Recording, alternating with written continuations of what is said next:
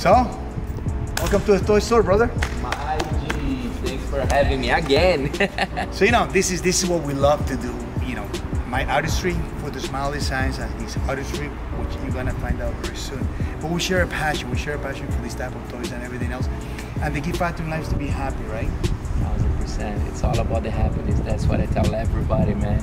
Sometimes, you know, uh, it's not about the money. It's not about this and that. For me, first happiness, Happiness. and then you know, family, you know, and then toys. Peace, faith, and all the good stuff that God wants his good kids to be around. 100%. So you know, so this is part of the collection, and you know, I enjoy the diversity. As you can tell, my favorite color is red. You know, I, I am a, a, an addicted fanatic of the Italian toys. I like Ferrari and Lamborghini. They're predictable and everything else. But when I go to racing, I actually use a Porsche. Because Porsche is a very simple Very. car to drive to race and it's predictable. It doesn't lose the brakes as well. Well, it's I was it's- I was I was in a racetrack with the Lambo and uh, yeah the Lambos were losing the the, the Brake. brakes and the Porsche. My friend who had the Porsche and the Porsche was like A lot has to do with who's driving, how bad are you overheating the brakes, and what type of brake fluids you have. Like for instance, this one we have here, this 488, is a performance car. She, because we call she the horse, 900 horsepower, to the wheel of a car that looks like a slipper. Wow. Well, this car will be outlapped by this Porsche that has half of the horsepower, but it's constant on the track.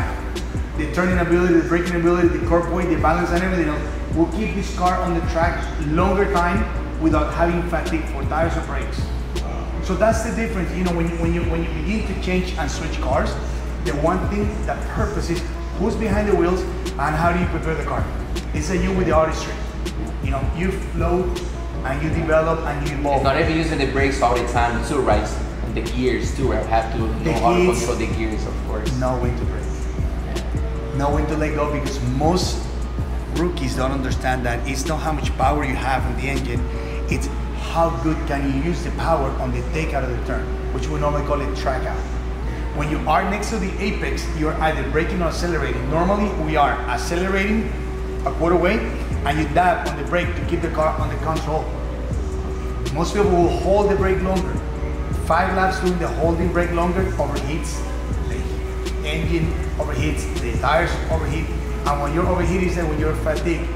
You know, your memory doesn't allow you to paint and draw. That's the problem. My next time on the racetrack, I'm going with him.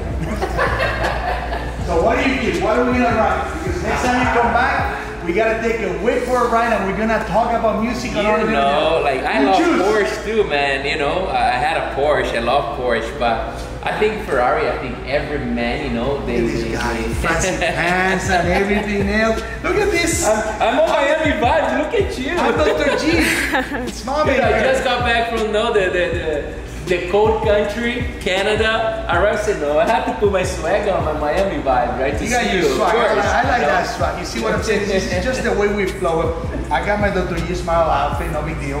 It matches the blue Porsche, which is one of my favorite ones. That's your favorite one? No, I said one of my One of favorite your ones. favorite One of my favorite because each of my cars is a different experience. Right. And you know, when you try to relate, how do you relate like a GT3 to a GT3 RS to two GT4s? Is just in the experience of how it is set up either for track, for track on the streets, pure power.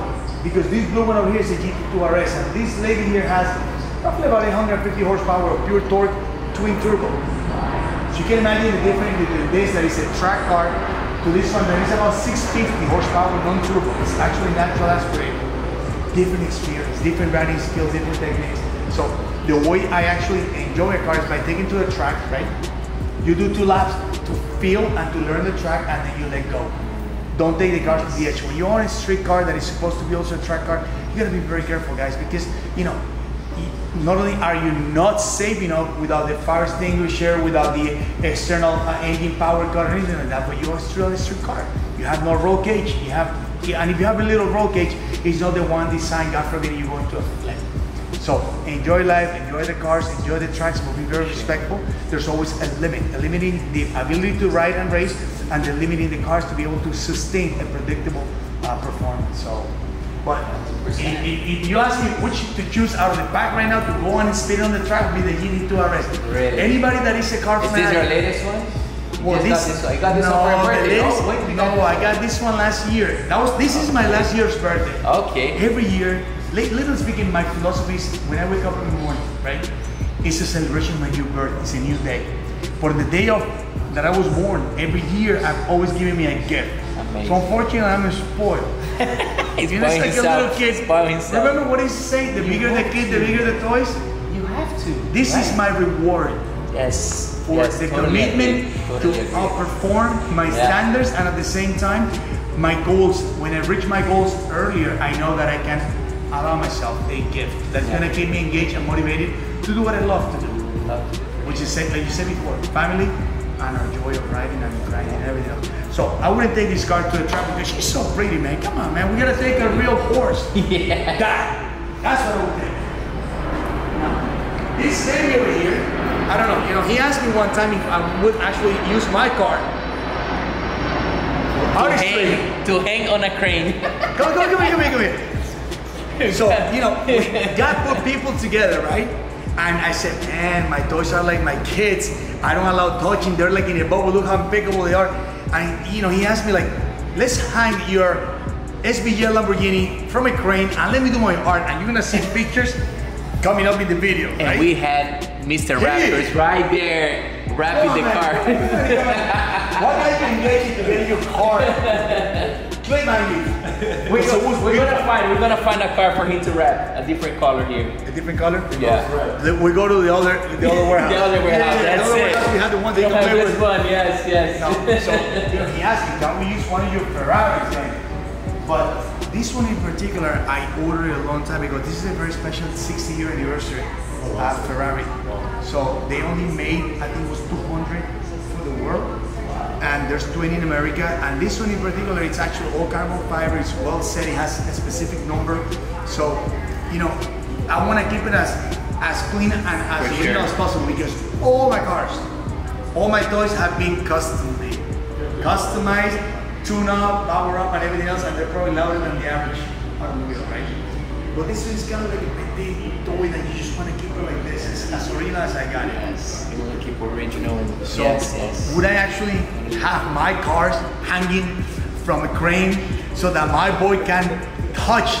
It's like I don't know. I gotta think about it again. But we did it. We made it happen. You did something incredible. Yes. You know. You know what it is. The entire Miami was talking about. I know. I know. Even my buddy Bray, he's like, that was that, that, that, that was it was crazy, yeah. That yeah. was wild. We and it came out really, really nice. I know you guys are gonna appreciate that because what is your next project about? Can we share that yet or not? But by the way, you know we sold that Lambo, right? My collector in Canada, he bought it. It just arrived in Canada. Yeah. All the core and everything else. Yeah, yeah. He bought that. He bought us an NFT, right, on my platform, uh-huh. New World, and it came with the car. So he bought the NFT that came with the car. So listen to this because that was the next question I'm going to ask you. So your NFTs, yeah. if the average consumer wants to go and buy the NFT and invest into the NFT, which is great to have the diversity of portfolio, why would I want to buy the Lambo NFT versus all the all your pieces of art? Ah, uh, it's just different, right? Pretty much some of my NFTs uh, is just like the digital artwork. Correct. Right? I don't I don't attach anything to it, but this one was actually the first one that we decide to create the NFT with, you know, because there's a lot of people doing this. Even Rich the Kid, Rich yeah, the Kid, yeah. he created his NFT, and then you know whoever bought his NFT, he was giving his Maserati, right? So it make it more interesting. It make it more, uh, I think, personal that you're getting something from, you know. This is specific the strategy that I use for my trading. When you're getting something that is tangible, you're attaching a tangible asset yes. to your NFT. Now you have the ability to sell the NFT, you still hold that asset. And that's what matters because it's what is called secure in the world of trading. Trading is the art of gambling with predictable, in quotes, controllable results if you use risk management ratios. And I'm very conservative with my trading, but I am also type of trader that I take my profits and I convert them into a different asset, whether it be real estate, automobiles, jewelry, whatever it is.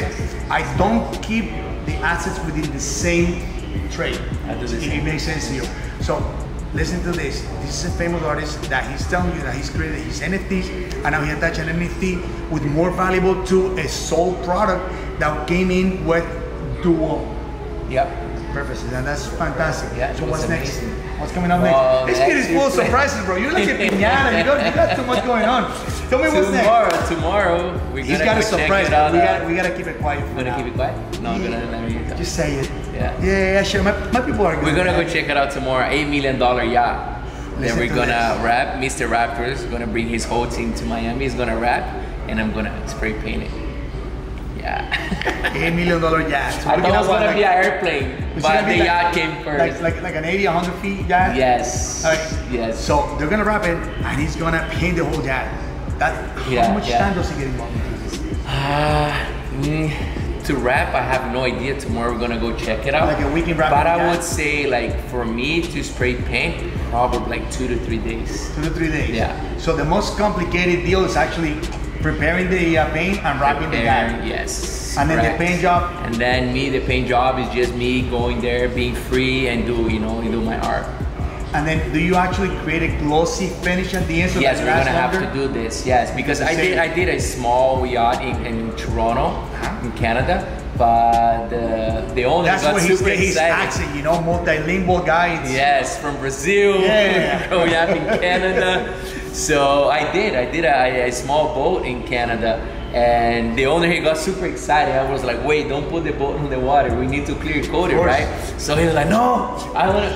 And yes, you know, unfortunately, The predictable clean That- wash, yeah. wash down the paint. he had to pay it again to do it. Right, I have an idea for you. So, one of the things that we do is we like to create memory. As I said before, we like the experiences in our cars and it's every, every every toy that we have. And I say we because it's, it's myself and my kids. And we co-share this beautiful environment, but we actually found this company that is actually from Brazil. Look at the chairs. They are made, custom made, matching the cars. Some of the cars, right? What about if I hook you up with this guy and maybe we create a Dr. G smile by Diogos? For sure, done deal. You like that? deal. Be deal, fire, and then we glaze it on top again. Yes, yes, for Yeah, sure. yeah, yeah, yeah. For sure, yeah. I'm waiting for it. So, the Ferrari that he was talking about, that was my latest toy. That was actually the A12 in Largo. This is super fast, and I chose to buy the one that is called Mansory, which is a company from England that they produce specific um, performance parts and also aero packages for different cars. So I got one of 16 in the world. Red Ferrari with the, um, it's called uh, Forged Carbon. But it's not here because my son Raul, he took it for your ready weekend. But again, something new. So I'm waiting for that chair. It's coming. It's taking about three months because actually adding the forged carbon fiber to the chair and embedding it within the whole structure, For sure, for and sure. then the leather and everything else is just squeezed. Look, This is- no, this is this is another Brazilian. level. Look, look, This it's is Brazilian. look. So we have a commitment, right? We're gonna do a chair. Let's do it. We're gonna customize it. Real Dr. G smile. That's gonna be fire. Because you did that for me last year. That was beautiful. Everybody has You to.